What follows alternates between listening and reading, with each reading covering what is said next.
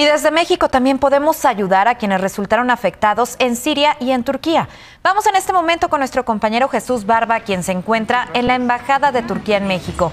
Jesús, muy buenas tardes. Adelante con la información. Hola, ¿qué tal? Elizabeth Alejandro, me da mucho gusto saludarlos. Buenas tardes. Buenas tardes también para usted. Nos encontramos a 11.779 kilómetros de distancia de Turquía.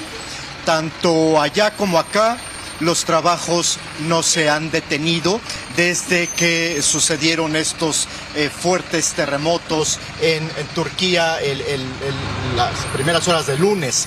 Eh, aquí en las lomas de Chapultepec, en donde se encuentra la embajada de Turquía en la calle de Monte Líbano 885, pueden ustedes observar cómo es la banqueta de la calle Monte Líbano, la que se encuentra totalmente llena de ayuda humanitaria.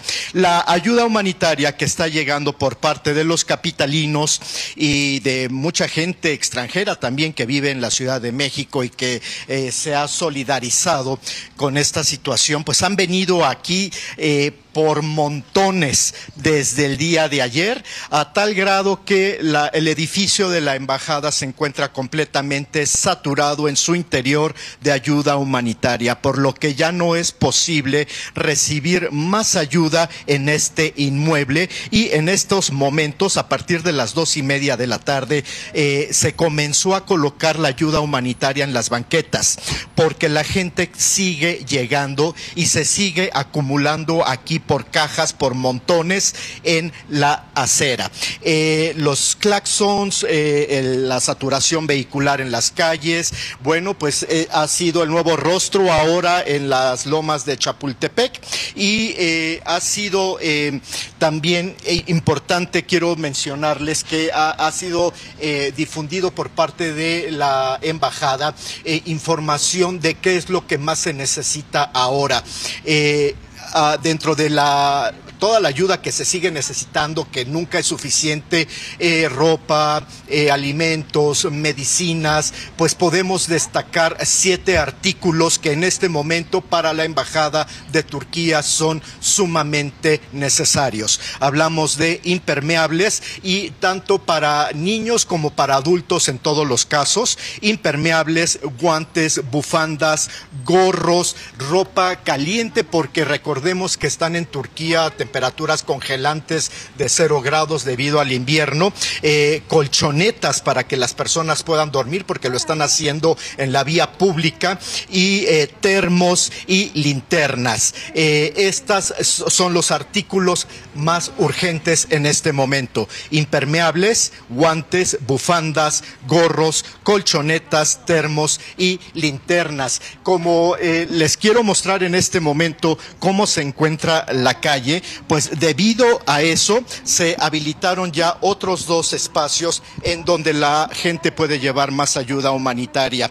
Eh, ya no aquí en la Embajada de Turquía en México en las lomas de Chapultepec, pero sí en el Centro Cultural Turco ubicado en la calle de Hegel 618 en la colonia Polanco, así como en la calle Monte Blanco 1245 casi esquina con Repito, Centro Cultural Turco en la calle Hegel 618 en Polanco y bien el segundo lugar en eh, una casa habilitada en Monteblanco 1245. Eh, pudimos platicar esta mañana con el representante, el consejero del embajador de Turquía en México y esto fue lo que nos dijo.